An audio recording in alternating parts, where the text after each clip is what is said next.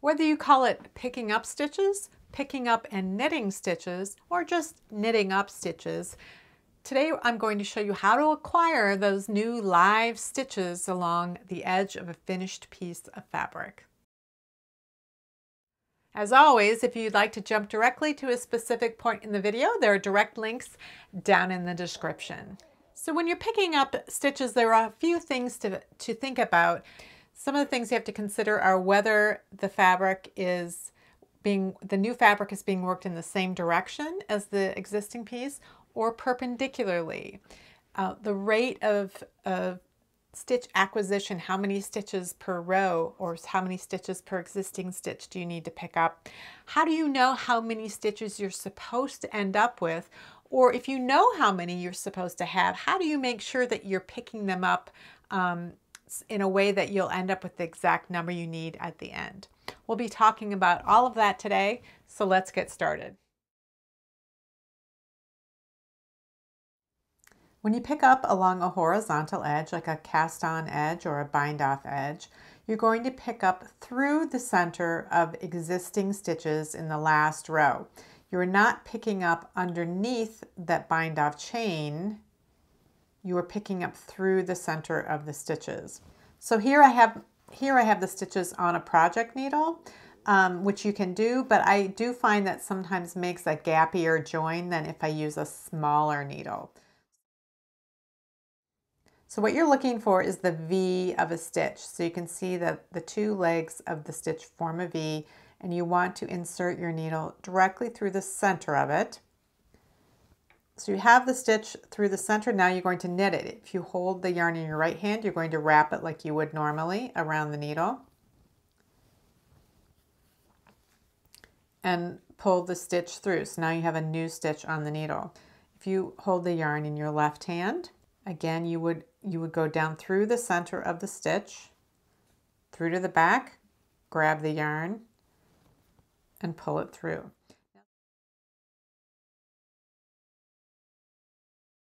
Through. Now some people find this difficult to do, so you can introduce a second needle. So what you could do is insert the left hand needle through the center of the stitch And now you have something sitting on the needle that's sort of like a stitch. So you can just knit it like you would normally. Just stick your working needle through there and work it like a normal stitch. Some people will find that an easier process to do than um, to just stick the working needle through only. A third option is to use a crochet hook. So again, you would stick your hook right through the center and then you would grab the yarn and pull it through. And at this point, you would either transfer it um, to the needle like that, one at a time, or you could do them one after another. So you could use it to the hook to go through, grab some yarn, bring it back through, make sure that you don't split it. Go to the next one, grab that one and just just keep loading them up on to the hook and then once you have a bunch loaded on you can slide it to the other end and then offload them onto um, the needle. So with vertical edges you're going to be knitting perpendicularly to the original fabric and you can encounter different, very different row gauges depending on the type of fabric you're working. So this is garter stitch. We're going to talk about that later. First, we're going to talk about picking up stitches along um, the selvage of stockinette fabric or fabric that's very much like stockinette. It might be some sort of knit purl pattern that has a very similar gauge to stockinette. You still have those three choices of how to bring the new stitches through um, the fabric to the front of the work. But rather than inserting your needle through the center of an existing stitch, you're going to insert it between the selvage stitch and the second stitch in. So you're going to insert your first one as close to that cast on edge or bind off edge as you can, and that's where your, your first stitch is going to be.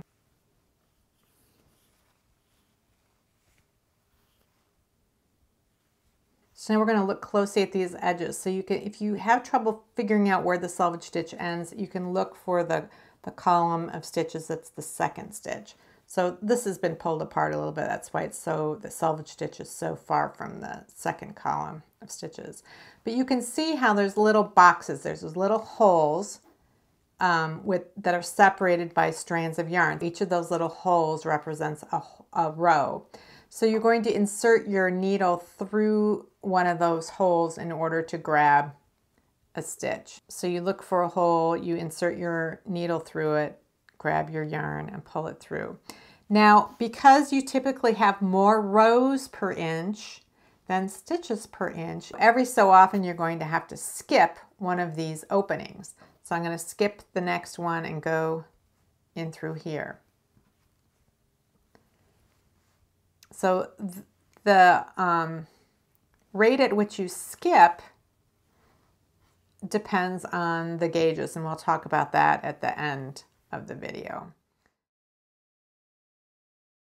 Slanted edges are formed by shaping decreases or increases and they should be worked not in the edge stitch but a stitch or two away from the edge so that you leave your selvage stitch um, just a, one column of plain stitches going all the way up and the process of picking them up is the same as through a vertical edge.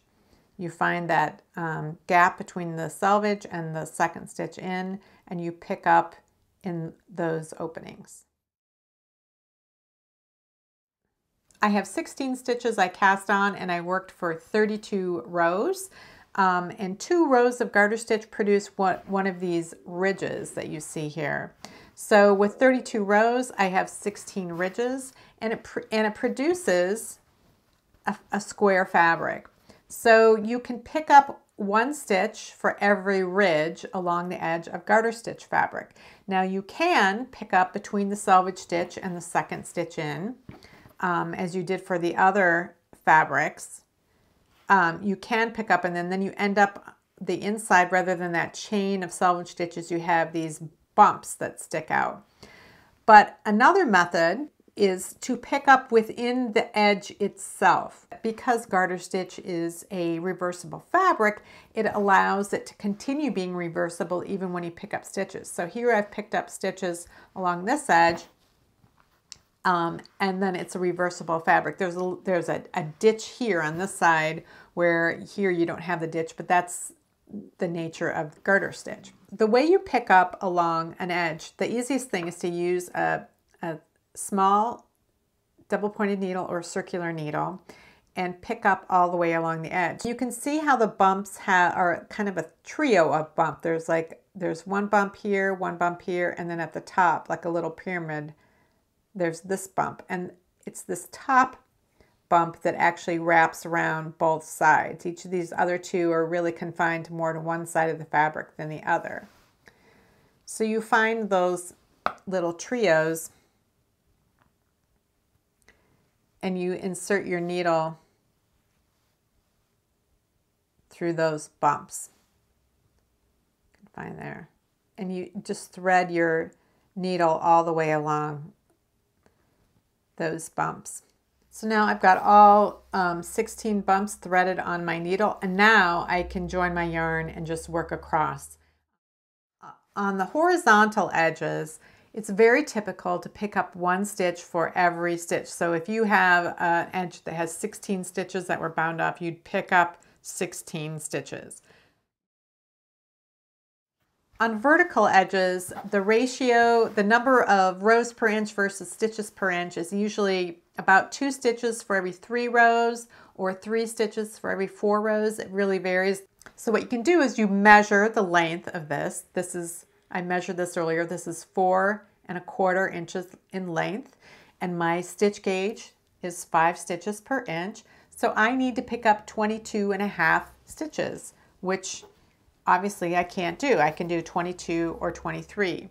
So I can use the idea of two stitches out of every three and um, do that all the way across and then see how many stitches I actually end up with. You want to make sure that you always work in the last space of a row. You don't want to have that be one of the places where you skip. So I do have 22, um, managed to get 22 stitches here. If I actually wanted 23, when I work across that very first row, I could just increase a stitch. But for something long like, like this, where I was decreasing every right side row, so it's pretty frequent, um, the length of this slanted edge is going to end up being quite a bit longer than the vertical edge. So for example, here I have a four inch long vertical edge, but this is five inches long. So if I were picking up 20 stitches along a vertical edge, that would not be enough um, for a five inch slanted edge. I'd need more stitches than that. So you need to, to keep that in mind if the slant is, is quite long and the rate of decrease is pretty frequent.